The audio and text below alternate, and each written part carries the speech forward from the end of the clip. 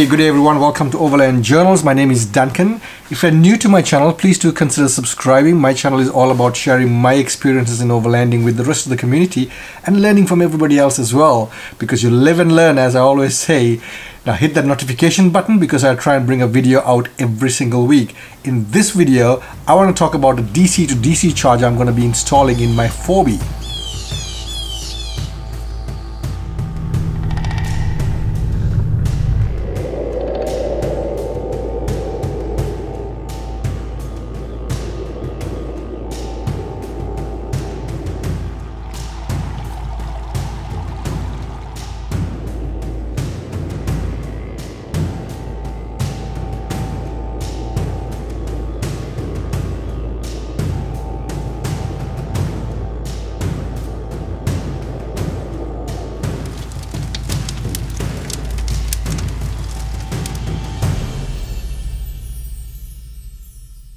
Welcome back everyone. All right if you're running a dual battery system where you've got a cranking battery and a deep cycle battery then a DC to DC charger is something I feel is essential because a DC to DC charger will make sure both batteries uh, it doesn't matter what type of batteries they are the DC to DC charger will make sure those two batteries are kept charged optimally all the time. Now I've been wanting to put a DC to DC charger into my 4B for a while, but I took my time because I wanted to do some research, make sure I found a product which was which needed um, which suited my needs at the same time fitted into my budget. So eventually came across this product. It's called um, it's, it's from a company called Interval or brand is called Intervolt and uh, I think comes out of Western Australia. It's an Aussie product, so I love supporting local companies, and uh, it it operates up to 50 degrees centigrade ambient, it'll still give a 100% charge. So that's pretty neat. And then even up at high as 85 degrees centigrade ambient, it'll give up to 20% charge. So that's a very wide um, range of temperature it can work with. I don't see how I'm going to go up to 85 degrees, but that's pretty good for the product. Also something else I really liked about it was it comes with a it's fully sealed unit so it comes with a rating of IP67. What that means is if I was doing a river crossing and somehow water got into my engine bay or got splashed or whatever this unit will not be affected because it's fully sealed so that's pretty neat. So this is what I'm going to get installed in my 80 series. So currently in my 80 series I've got a dual battery setup. So out of the camera's frame at that end I've got my cranking battery, the main battery and over here I've got my deep cycle battery which supplies power to all my accessories. So like my fridges the um, floodlights I've got at the back for camp setups and so on all go off this. Now managing these two batteries is a very simple um, it's not even a battery manager I cannot call it that. It's simply a solenoid which distributes the power coming out of the alternator between the two batteries. So it's kind of equally distributes the power coming out of the alternator and also when I switch off the engine it isolates the main battery so that all the accessories will draw power only from this one. So the chances of me running the main battery or the cranking battery down is completely eliminated when the engine is switched off. So that's pretty pretty good and it's worked for me pretty well all this time. But um, this is not good enough because of the way the two batteries are. And I'll explain that. The the cranking battery is designed to take a quick charge and that's because it also delivers a quick discharge when, a, when the cranking, all that amperage for cranking is required. So that's fine, that works that, but then for accessories, which for example, when you switch off at the in the evening at a campsite and you want to run your fridge right through, perhaps maybe you want to run a few um, camping lights while you set up camp or whatever, or do some cooking, then you need a deep cycle battery, which will supply a long enough power for a number of number of hours. So deep cycle batteries are designed to take a slow charge, slow long charge, but at the same time it, it delivers a slow long discharge.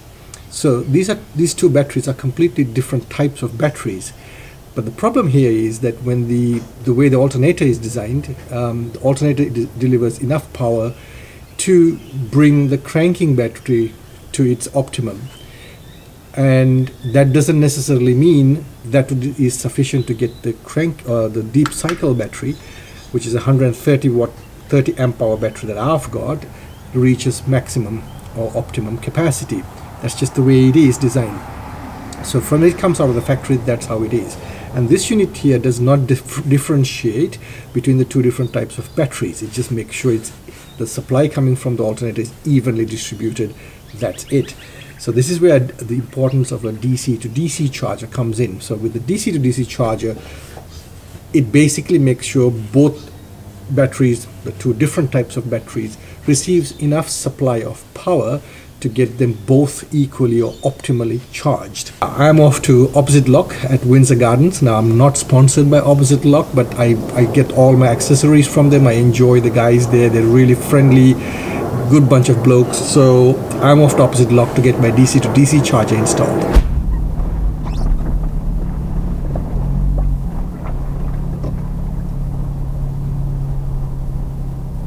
Okay, I just got back from opposite lock and I've got my DC to DC in, um, charger installed. So here's the unit. It's a little unit here. In the so if you could remember from a little earlier in my video, I had the solenoid installed here. That's come off now, and instead of that, that's the DC to DC charger installed. So they've done a pretty neat job. So pretty pleased with that. And um, basically, what this now does is it gives my auxiliary battery uh, the amount of charging it needs as a deep cycle battery and it once the battery is reached its optimum then it just goes to a maintenance mode and depending on how much draw it'll work accordingly. So rather than just pumping as much amps as it, a unit can this will actually maintain and regulate the amount of amps being sent into the auxiliary battery just to keep it optimum now also at the same time, this can take in a solar input and that's been installed right here. So that's an Anderson plug. So if I got a solar blanket or a solar panel, just plug it in there and it's got solar sub supply into this unit and then the unit will decide how it's going to distribute that power and to keep this battery charged. So it's pretty neat. Now on the inside, I've got an LCD panel that gives me certain information which helps me to figure out how the batteries are doing. So let's go and take a look at that.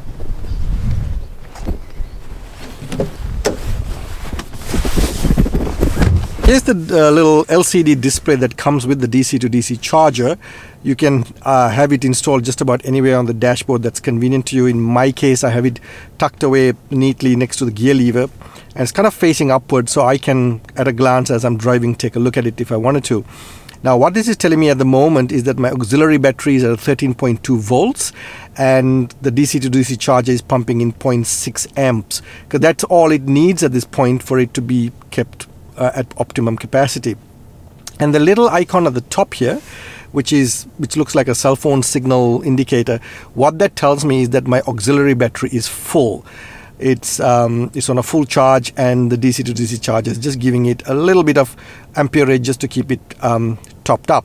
Now if I toggle the switch here then that tells me the top readout is the amount of volts in my auxiliary battery and the bottom readout which is the 14.5 is my main battery's volt voltage.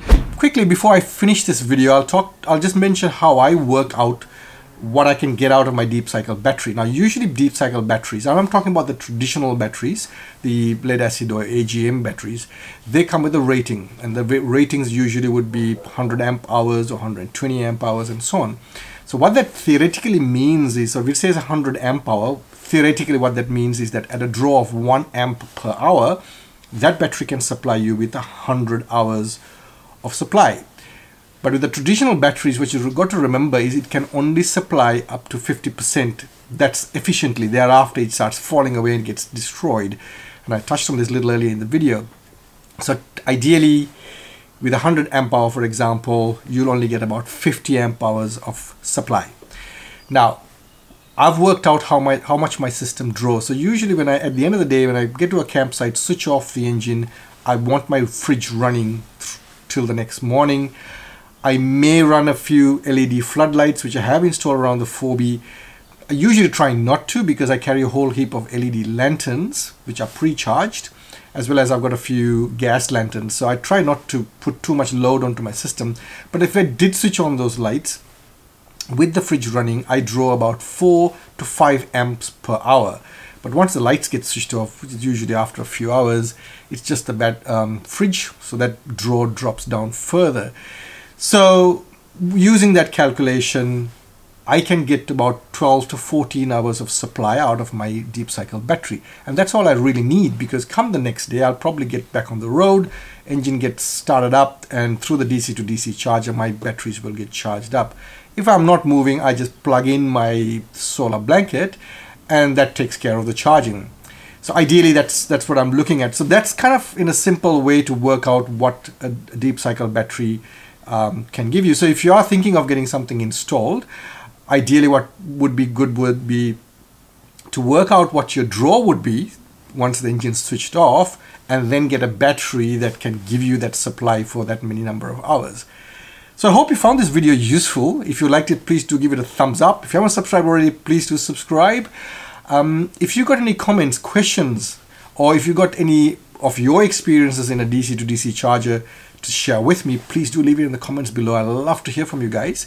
And thanks for watching. I'll see you next week in another video.